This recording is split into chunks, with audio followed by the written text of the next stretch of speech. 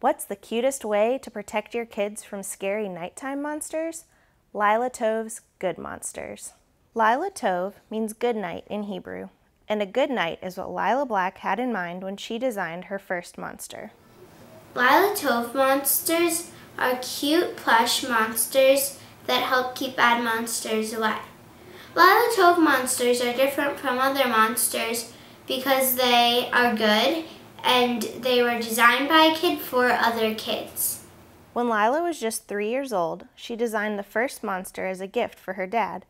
She asked her mom, who just happens to be a costume designer, to sew it.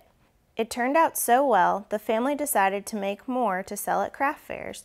Soon, their apartment in Queens, New York was full of adorable stuffed monsters.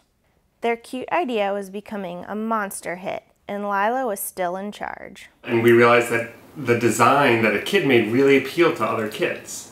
So we said, all right, let's do this. We made more and more monsters and Lyla was still the creative mind behind the Lyla Tov monsters, choosing the fabrics, deciding which monsters needed a tutu, which ones needed a t-shirt, did they need bows in their hair or horns on their head. Um, she would make all the artistic decisions and I would help sew the monsters. For her one-of-a-kind plush dolls, Lyla won a Toy and Game Inventor Award for Young Inventor of the Year. Her monsters are perfect gifts for baby showers, birthdays, and holidays. Kids will love the story of Lyla and her good monsters, and you'll love that they'll feel safe enough to get a good night's sleep.